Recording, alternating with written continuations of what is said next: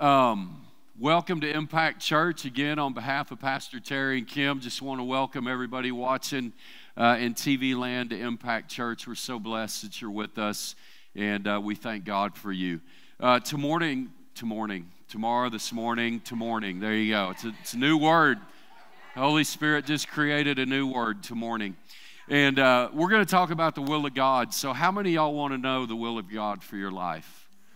You know, that's an ever ever progressing thing. The will of God for today, the will of God for tomorrow, the will of God for next week, the will of God for next year. Where will I be in five years? Where will I be in 10 years? It's neat to uh, have that information. I, I, know as a younger man, when I got saved at 24, uh, after blowing considerable time in my life, my parents' resources, uh, quite embarrassing, I'll tell on myself. I was a six year college flunky. I was in college for six years and I had accumulated 32 hours of credit course. That's pretty sad, man. And, and I just wanted to do good, but I had no power to do good. I wanted to do the right thing. I was just loaded with shame and guilt. Um, but when I got saved at 24, um, my everything changed, and it's like I had this power and hope of what God wanted to do in my life, and and and pursuing His will for me became something that was now obtainable. I had the power through Jesus to begin pursuing what He had for my life. And so that was like the burning question. Do y'all ever think that, or am I the only one? Man, God, what do you, what do you want to do with me? I know I've talked to several of you uh, in those conversations, and it's real, man. It's alive. It's like God is doing something. I want to, like, why am I here? Why did God bring me here? What's down the road? Well, I want to tell you, and this is a message I've preached every two years or so, so it's been a couple of years, but this is out of Romans 12. And I think the word is extremely clear when it comes to the will of God for our lives that there are steps that are real, that are obtainable, that are um, quantifiable, that you can like derive results and look at them and go, okay, this is where I'm at. And for some of us, um, if you know Jesus, steps two, three, and four repeat throughout our life, right? So knowing Jesus is the first step. You can't know the will of God for your life until you know Jesus. That's why I had no power to pursue anything in my life, no strength, because I did not know Jesus. And so, man, I'm just getting tossed about like a ship on the seas. But once we know Jesus, then things be, start begin to lining up because the first thing he told the disciples was, Come follow me and I'll make you a fisher of men. So this morning, we're going to go through, and I got some kind of fresh download when I found out at 8 o'clock this morning that I was going to be bringing the word today. I'm like, Lord help. You know, we all know the scripture be instant in season and out of season. And uh, Sherry was like, this kind of out of season right now. You, you were out of the loop on this one. But how many know God is faithful? So don't don't think to yourself because God's word is new and fresh every time. So even though you if you've been here for 10 years, you've heard this message probably twice. So maybe this is the third time now. But again, this is seasonal. It repeats each of these steps, two, three, and four, repeat de- depending on where we are at in the Lord, depending on what He wants to do, depending on what is next. You're like, man, get on with it already. So the steps are Everybody say it with me salvation, separation, consecration, revelation. You want to know the will of God, baby? There's step four, revelation. That's all laid out in front of you. It's not like, God, what do you want to do with me?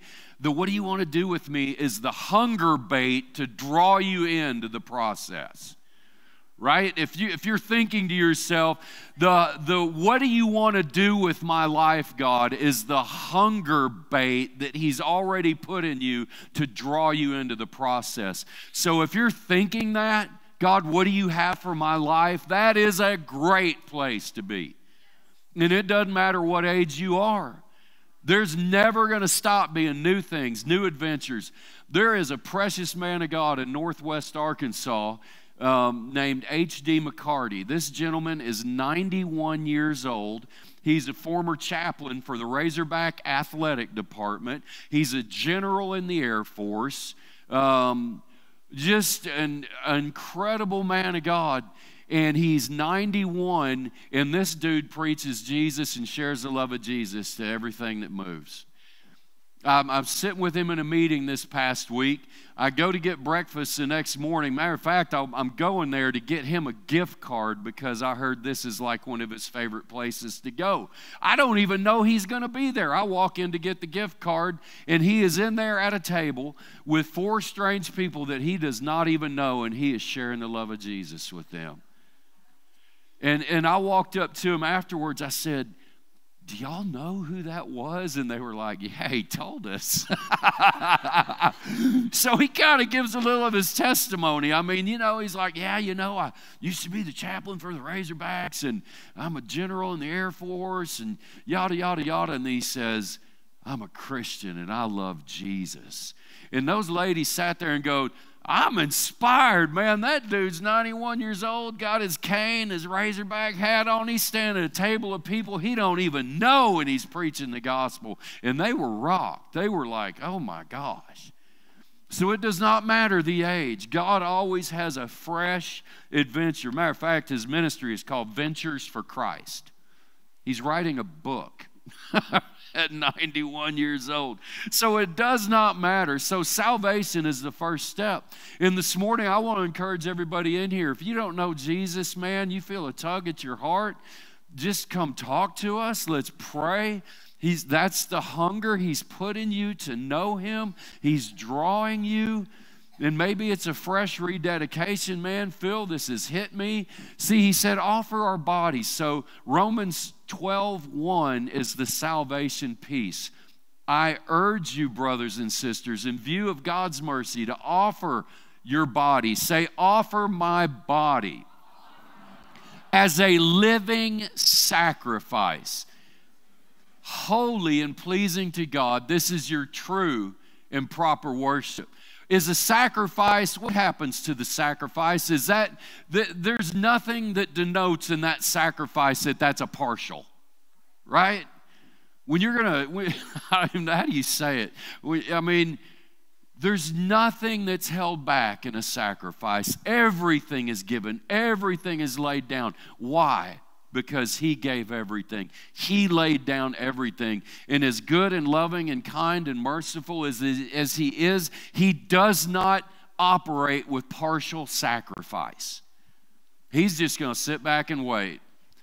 Go, I love you dearly, but you don't start living till you give it all. Right? We don't start living till we give it all. I've prayed with people, man, and dudes that I knew in college at Fayetteville, and, and they wanted Jesus because they were struggling addiction and drugs. But once they got free, they got free, man. They prayed, they got free, they were living right. But then they, I start seeing the pictures of them on Facebook with, you know, chicks every night, different girls. I'm like, bro, you can't trade one addiction for another. That's not how this goes. That's not a total sacrifice. Now we got people pulling out sweaters and blankets. So if we could just, uh, if we could uh, hit that air up a notch and get the AC regulated, that'd be great. And so Jesus wants total surrender. Offer our bodies as a living sacrifice. This is the salvation piece, the beginning point of knowing the will of God. Amen. I urge you, brothers and sisters, in view of God's mercy, offer your bodies as a living sacrifice, holy and pleasing to God. This is your true and proper worship. So, that aspect of offering your body, and what does Jesus do with a sacrifice? He burns it up. Who wants to burn for Jesus? Who wants to burn for Jesus? Offer everything, give Him everything. And I believe Holy Spirit showing every one of us right now what we need to fully surrender and offer to Him as a sacrifice. And He's going to come in and flood you and fill that and light that area on fire and bring a freshness and a newness. It's beautiful. The next part of the scripture is separation. Go ahead and throw that up. Perfect. What do you mean? So salvation's first, right? What do you do next after salvation? You separate. You can't go on with God running with the same people. You can't go on with God not testifying about what He's done. You cannot go on with God around in the wrong place. So you separate. Do not conform to the pattern of this world. Stop doing what you did. Right? You want different results, you need different actions. You got to do different stuff. I couldn't get saved and not and still keep going to the club and doing this and doing that? Is there anything in our lives that we're doing that's not separated and is keeping the fullness of Jesus back? Separate from and do not be conformed to the patterns of this world, a surrendered lifestyle. Right? A surrendered lifestyle.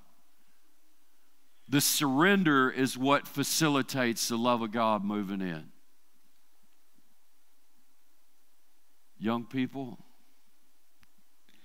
Stephen, who else we got? There they are. Murph, Beth, Jonathan. Man, he's got you guys. Surrender everything to him. Surrender the relationships and let Jesus fill that void. Serious. When I got saved, chased girls for 10 years, I surrendered relationships. So, Jesus, you filled the void. You be my girlfriend. When the time's right, show her to me. And he did. Some of us are in a place of relationships where we need to surrender to Jesus and let him fill the void. Need to trust him for that. That's living a separated, surrendered lifestyle. Allow Him to get in your business and go, you need to separate from this. You need to separate from that. We've all heard of the drama mamas and the drama daddies. Do you have drama around you? Right? It's because you hadn't separated. When you separate from unhealthy relationships, the drama ceases. It's hard, man. You don't know. I've been around that person for years. I'm sorry. Jesus is calling you out. He wants separation. He wants surrender to Him because He's going to give you a new group of friends. He's going to give you new relationships. They're going to bless you, edify you, and propel you towards His will. Surrender, separate. I love this then he said to them all, this is from Luke 9 23 to 24, attached to the surrendered lifestyle. Then Jesus said to them all, Whoever wants to be my disciple must deny themselves and take up their cross daily and follow me. For whoever wants to save their life will lose it. Whoever, whoever loses their life for me will save it. You guys feeling that? We, we, we just are so conditioned to hold on to stuff in the world that we think we have to have. And Jesus is like, no. I, I've got a whole new kingdom dynamic for you relationships, people, everything. Most of all, myself. Jesus is like, I want to be your everything. And again, this is from the oldest to the youngest, and the youngest to the oldest for all of us. Deny ourselves. Deny ourselves. Take up our cross daily and follow me. For whoever wants to save their life will lose it, but whoever loses their life for me will save it. That is so powerful.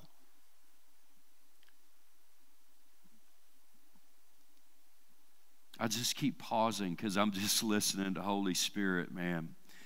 I know I've shared this a time or two, but there's such life and truth and power in this. This is the Word of God. Salvation, separation, consecration, revelation. And I shared the testimony of HD, a 91 year old gentleman, because I know there's, I'm 57. I'll put myself in the group. We're getting on up there a little bit, but life does not end no matter what age, what stage. God always has an adventure. And I'm looking at people in the room. Miss Carol in her ministry to the Dorcas women. It's not easy to do what you do, is it? It's not easy. Some mornings you wake up, It's not easy coming to church. Who woke up this morning, man? It's rarely easy. Jesus didn't say it'd be easy, He only said it'd be worth it, right? That old saying.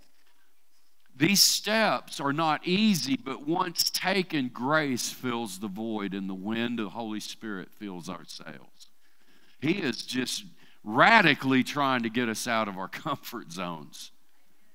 Familiarity, complacency. Yeah, I'm used to this place. A nice, comfortable bed. Kind of like the eagle that kicks her eaglets out, jerks the feathers out. What's the next step?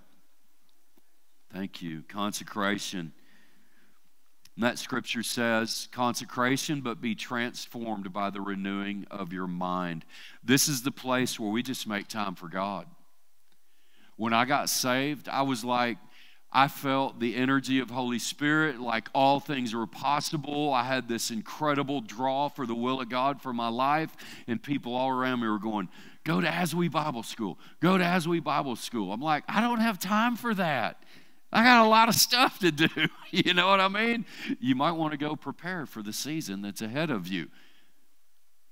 A consecration, meaning to hold oneself aloof, knowing that you're set apart for special purposes, that God has something specific, real for you, and it's glorious and it's wonderful, and it's who you are in Him and Him in you, and it's this beautiful adventure, and He wants to take you on it. That consecration is, is that you are giving space to that. Givenness, surrenderedness. It may even involve, hey, start having people over to your house and showing hospitality in dinner Hey, go out here and start sharing the love of Jesus with somebody. Hey, look at that person across the aisle over there. Why don't you bless them? Hey, why don't you go across the street and share Jesus with your neighbor? These are all things that you've already thought about. Like the Holy Spirit's already been putting on your heart and you just you just hadn't responded yet. He's trying to lead you in us to a surrendered, givenness, consecrated, could even be described as a wilderness experience, man. He is pulling you out, getting you to take some steps of faith because revelation of His will is coming.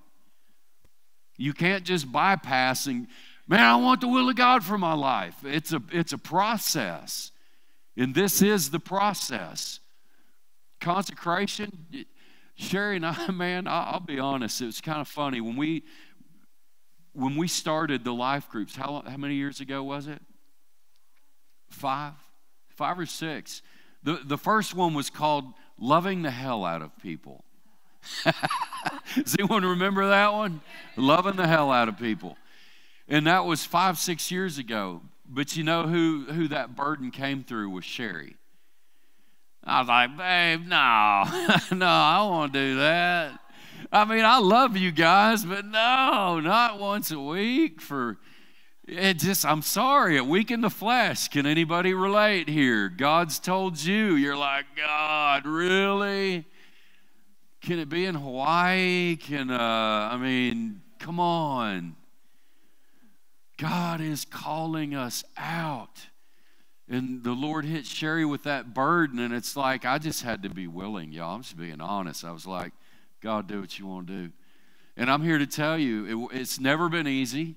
We'd have it on Sunday. We'd come home from church, immediately clean the house for two or three hours, run to the grocery store, start cooking a meal, everybody over, eat, clean up. I mean, you know, that's a whole Sunday. What? No pro football, no nap. That's hard, man. Come on. You God, you're getting in my business now pro football, nap, chilling. We need that. He is getting in our business. Why? To expand our hearts and make way for His love. That's why it's called faith F A I T H. No step of faith is easy. It requires a dying to self, offering the, our body as a living sacrifice so that He can move us into a new realm. In these steps of faith, they always involve blessing other people, helping in the nursery, door greeting, going to the neighbor, starting a life group. You know, you've heard it, you, you just ignoring it or you're just trying to reason with God. You know, you catch yourself, you trying to bargain with God, you know Holy Spirit's dealing and He's dealing with you. Yeah. You you bargaining with God on something, Holy Spirit's all over you. God, I can't do that because no, no, you busted. You cold busted. Not just busted, but everybody, you know, the youngers is this language, cold busted. Anybody remember that one? Oh, come on, you 80s people. Where are my 80s people at? Cold busted, whatever. we used to say that. Thank you, Harold. If, if you're arguing with Holy Spirit about why you can't do something, He's already got you. Just respond and just start, Lord, have your way, do it. Okay, okay, we'll do it. Consecration, set apart for special purposes. He's teeing you up He's getting you into a place where He wants you to give out of what you've received so more of His love can come in and begin to flow because He's leading you in to something. Set apart for special purposes, consecration. I love it, man. In Joshua, this is being transformed in the renewing of your mind extra time in the Word, extra time in prayer, pressing in in worship, all these things, giving of what you've received are all part of consecration.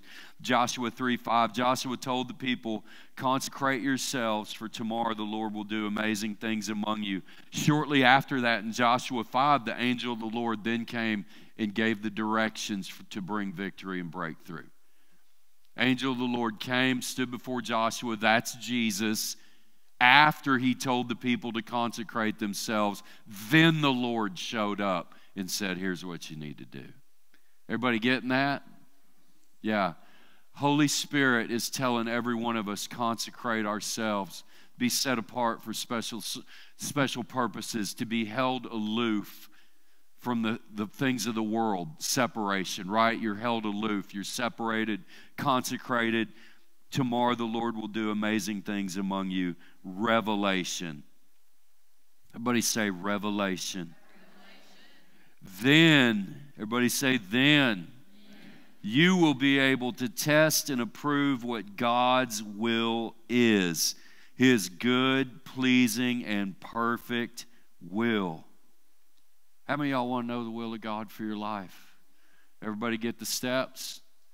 Salvation, separation, consecration, revelation and it is completely up to us to surrender to the process and enter into that.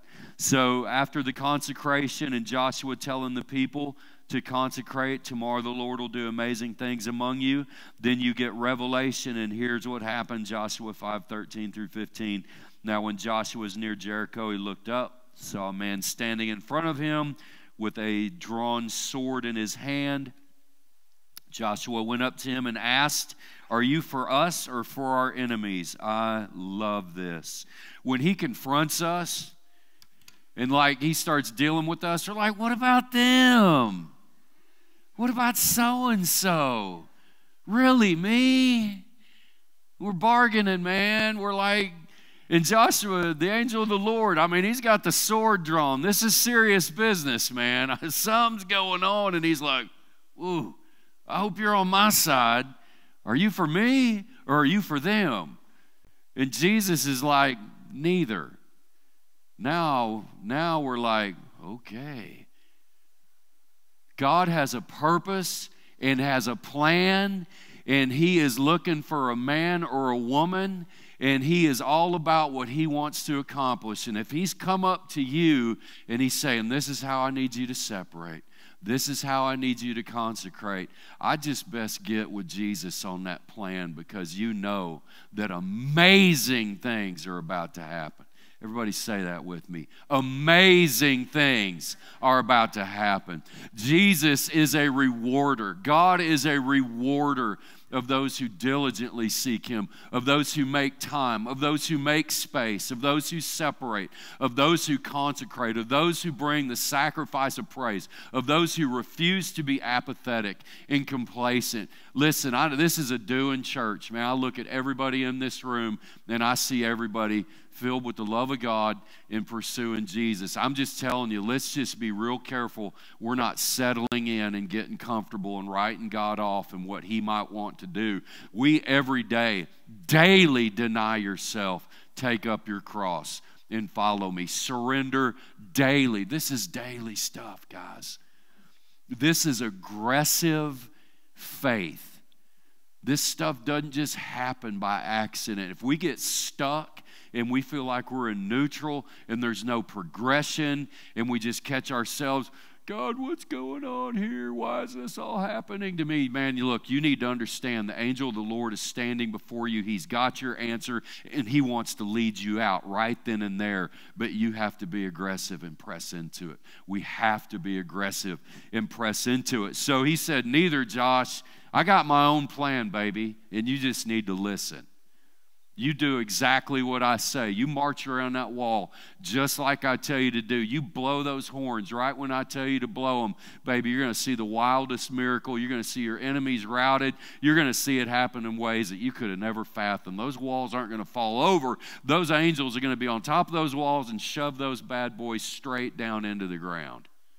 Come on with it now. Is that amazing or what? And he is a God of amazing things. I just felt inspired to share this testimony. I had a mind blowing last couple of weeks. God was bringing stuff and dreams to pass in my heart that I've been saying, and, and frankly, sometimes you look stupid when you say stuff, but you know it's God. And the Lord said, Philip, you just keep John the Baptisting that stuff, right? You guys have heard me preaching John 17, 20 through 23 for 26 years now, if you've been around me. But that's a Rhema hot word from God. That's the foundational apostolic truths of His church. Those passages birthed the church on the day of Pentecost, and those passages hold true for all 2,000 years of church history, this age of grace, even leading into when we all go home. It is right there in John 17, 20 through 24. And that's what the Lord burned in me. And it's all about multitudes because it's through his unified body that the world knows. Everybody say, world. That God knows that he sent Jesus and he loves the world even as he loves Jesus. Isn't that what we want? We want the world to know and I burned for multitudes. In a couple of weeks, you guys know I'm connected with Nick Hall and Pulse Movement. They're doing campus outreaches and reaching millions of students, preach the gospel to 330 million people all over this planet in the last 10 years, seeing millions saved, and they're hitting college campuses, man, where it's really going down in arenas and festivals. And I was blessed to be up there at their headquarters and meet some of the people I'm supporting Amplify Fest along with Sherry and I coming up in August. Man, it's the will of God for my life, and I'm just testifying that God's faithful and He wants to do it in your life. And so I'm hanging out with the people and the leaders of, of Pulse Movement. And their crusade director was the crusade director for Billy Graham in the last years of his ministry on earth. The crusade director for Billy Graham he saw amazing things. Amazing man of God. He, he's just on fire. Guy's on fire. And he's the crusade director for Nick Hall now. And I got to meet him. His son, Jay, is, is my personal uh, report and the director and there. And I'm connected with him. They're taking me to the airport and he's sharing Billy Graham stories. And I'm like, come on, man, that's amazing. And uh, I, I, just about start to cry. I watch Billy Graham and see him preach the gospel and see the multitudes respond. I weep every time. And I started sharing this. And, uh, and just that's what's really burned in us for the last few years. It's always been there, but it's just a consuming fire is a heart and passion to reach multitudes through his unified body in and over cities.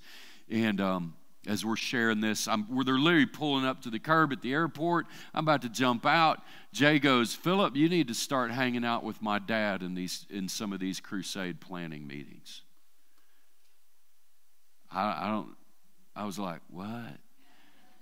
I'm going to get to hang out with the guy that used to be Billy Graham's crusade director and is now Nick Hall, the largest youth evangelist on this planet, crusade director. talk about shock and awe. You talk about something amazing. And I'm looking at every one of you and telling you that God wants to amaze and shock and awe every one of you with His goodness and love, no matter where you're at. Every one of us. We're saved. Let's get separated. Let's pull out from the drama mamas and drama daddies. Let's let Him give us new relationships and new circles to run in. Let's consecrate ourselves to what the Lord wants to do. Let's make space. Let's get into the Word more. Let's press in and worship. And we'll receive revelation, salvation, separation, consecration, revelation. He's got it. Every one of you, youngest to the oldest, oldest to the youngest. Father, we just thank you for this time, God. We thank you for your love and goodness on this body, upon your precious sons and daughters. Lord, that hearts are being lit up right now in Jesus' name.